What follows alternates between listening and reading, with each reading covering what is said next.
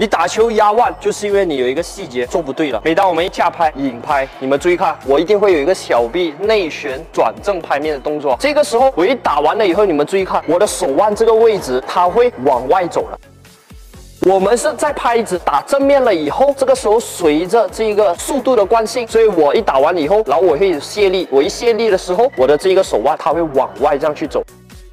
如果你打完球了以后，你的拍子是立着这样往前走，你很容易压手腕，所以会导致手腕受伤。所以由于我打完了以后有一个速度的惯性，所以我会往外走，手腕一往外走了以后，然后我收拍的同时会变成这个样子，也就是打完以后收拍的时候会这样子去收，这才是对的。如果你们打完了以后拍子是这样直着了，很容易压手腕。你们打出去的球这个拍面要稍微斜着一点点，这样的话你的手腕是往外的，它就不会压手腕。